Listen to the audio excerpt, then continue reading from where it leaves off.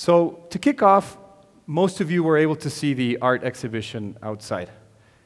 Did anybody not have a chance to, to take a look at the, at the artwork? Well, if you didn't, it's still going to be there after the talks end. So this year we're showcasing Rafaela Freire. She graduated in 2003.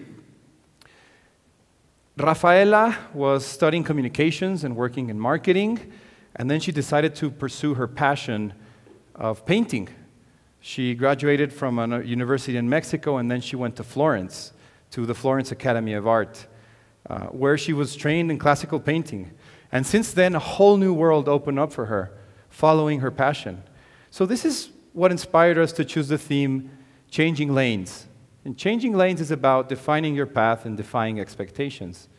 Different people do it at different points in their life. So, what Rafaela told us is that this opened up a whole new world and something she truly loves and cherishes. Her artwork is now being exhibited all around the world London, Tokyo, Mexico. Rafaela, anywhere else? Italy? Of course.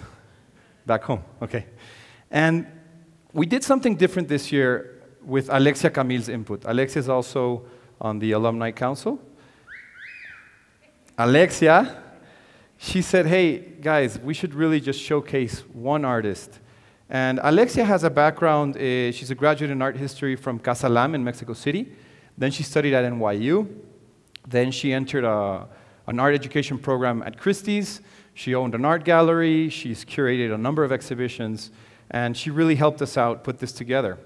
And choosing Rafaela and choosing the artwork outside goes with the theme. So I'm very sorry, it's the only thing I'm going to read tonight, but I couldn't memorize word for word, and, and, and she can say it better than I can.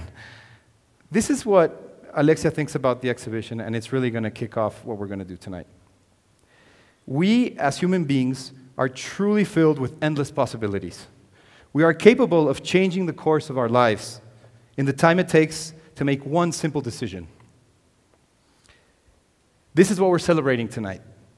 The doors that open to us just because we are conscious enough to recognize an opportunity when it is presented to us are endless. Freire's work celebrates this internal universe as it depicts the human form in all its splendor. It gives us the opportunity as spectators to introduce ourselves into their intimate but vast world, never closing and always opening the possibilities of our interpretation into their context. Isn't that what Changing Lanes is all about? Interpretation, power, courage, changing the world. Elements that are all depicted in Rafaela's work. So a big round of applause for Rafaela and Alexia. Thank you for that.